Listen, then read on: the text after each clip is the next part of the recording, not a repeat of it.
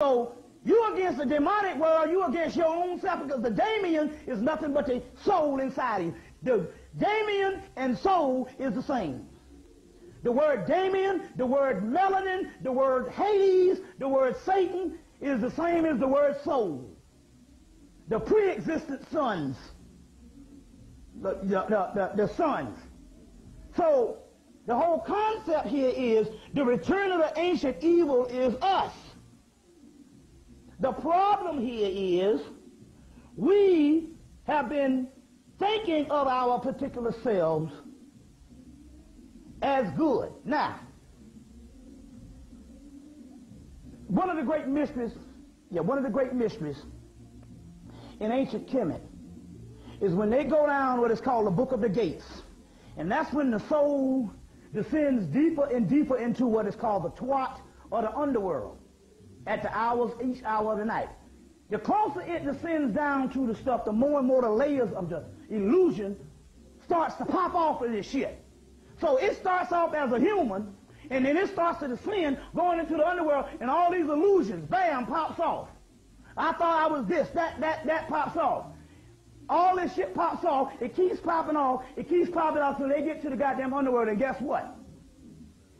When they get to the damn underworld, guess what? Only thing that's left is a whole bunch of monsters. That's what we are. Now, you know, I want you to hear what I'm trying to say. Now, he makes an allusion to it in his book uh, called the um, E. Wallis Budge book, The Egyptian Heaven and Hell. There was a little small volume that was put out years ago. They waited 90 years to put the original text out from, from 1906 I think, to 1996, which is three other volumes. And in there they talk about these monsters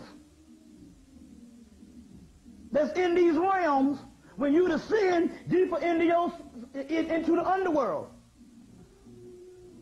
Whenever we shed all of this stuff that we call human, we turn into motherfucking monsters the, the predator, alien, Godzilla. No, listen to me what I'm trying to tell you. It's not just a hieroglyph. What I'm trying to tell you, now listen to me what I'm trying to tell you. In these texts is called the monstrous soul. They say man is so far removed from what it really was until when it gets a glimpse of its soul, it's fighting at what it sees. Because guess what? When you see them monsters and them demons in the brood at night, guess what? That's your fucking soul. We are monsters.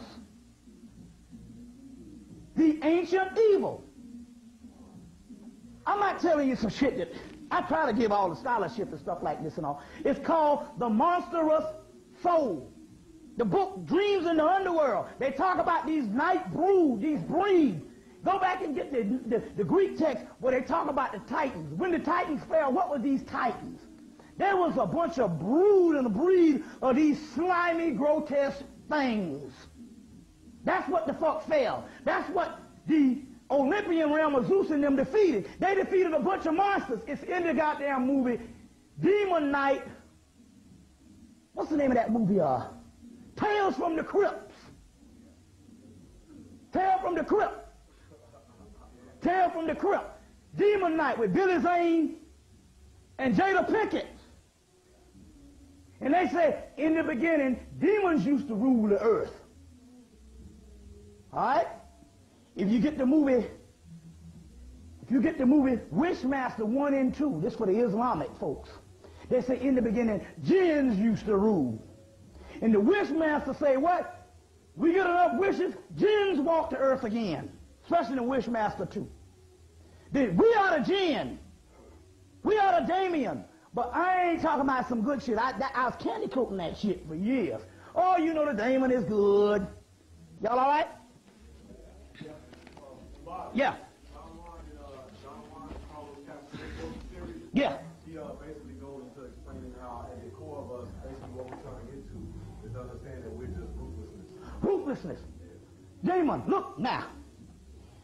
The Cthulhu. Cthulhu is a group of monsters that used to rule. Used to rule. That was overthrown.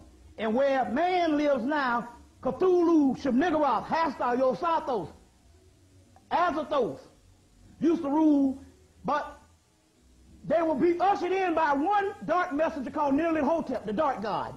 And he's called Crawling Chaos. Now, Cthulhu and them used to rule, and we and where, where man they say where man rules now, the great old ones used to rule. When the great old ones, where man rules now, the great old ones shall rule again. Now stick with me on this. This is very important. They got this, H.P. Lovecraft dreamed of all these damn Cthulhu and all these monsters. And the basis of your monster movie and the basis of horror comes from H.P. Lovecraft Cthulhu mythos, with the Call of Cthulhu being the first in 1922.